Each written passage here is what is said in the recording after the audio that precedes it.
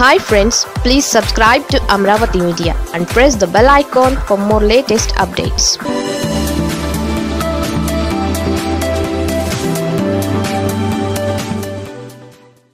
Nimmagadda పంతం. ఆ ఇద్దరిపై వేటు తప్పదా? ఏపీలో ఎట్టకేలకు పంచాయతీ ఎన్నికల నిర్వహణకు మార్గం సుగమం కావడంతో తదుపరి చర్యలపై ఎస్సీసీ నిమ్మగడ్డ రమేష్ కుమార్ దృష్టి సారిస్తున్నారు. ఇందులో భాగంగా గతంలో తాను ఇచ్చిన ఆదేశాలు అమలు చేయని రాష్ట్ర ప్రభుత్వానికి మరోసారి అవే ఆదేశాలు పంపేందుకు సిద్ధమవుతున్నారు. గతంలో తాను బదిలీ చేయాలని సూచించిన అధికారులను ఈసారి ఖచ్చితంగా బదిలీ చేయాల్సిందేనని ఆయన కోరబోతున్నారు. దీంతో ప్రభుత్వం దీనిపై ఎలా స్పందిస్తుందో చూడాల్సి ఉంది. పంచాయతీ ఎన్నికలకు హైకోర్టు గ్రీన్ సిగ్నల్ ఇవ్వగానే ఆయన పలువురు అధికారులతో వీడియో కాన్ఫరెన్స్ నిర్వహించారు.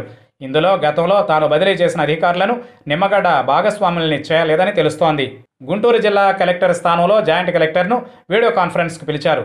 ఇదే కోవలో మిగతా అధికారులను కూడా ఈ ఎన్నికలకు దూరంగా ఉంచాలని నిమ్మగడ్డ భావిస్తున్నట్లు తెలుస్తోంది. అదే సమయంలో గతంలో తాను బదిలీ చేయాలని సూచించిన అధికారులను తప్పించాలని సీఎస్కు కూడా నిమ్మగడ్డ లేఖ రాయబోతున్నారు. గతంలో ఎన్నికల అక్రమాలకు ఆస్కారం ఇవ్వడం చూసి చూడనట్లుగా వదిలేశారన్న ఆరోపణలపై గుంటూరు చిత్తూరు జిల్లా కలెక్టర్లు ఎస్పీలను బదిలీ చేయాలని ఎస్సీసీ నిమ్మగడ్డ ఆదేశాలు ఇచ్చారు. అలాగే మాచర్ల సీఐతో పాటు చిత్తూరు అనంతపురం జిల్లాల్లో మరికొందరు అధికారులను బదిలీ చేయాలని ప్రభుత్వానికి సూచించారు. కానీ ప్రభుత్వం ఎన్నికలను వాయిదా వేశారన్న కోపంతో ఆయన ఆదేశాలను అమలు చేయలేదు. కానీ ఇప్పుడు మరోసారి ఎన్నికల నిర్వహణ అధికారిగా నిమ్మగడ్డ ఆదేశాలను ప్రభుత్వం అమలు చేయక తప్పని పరిస్థితి నెలకొంది.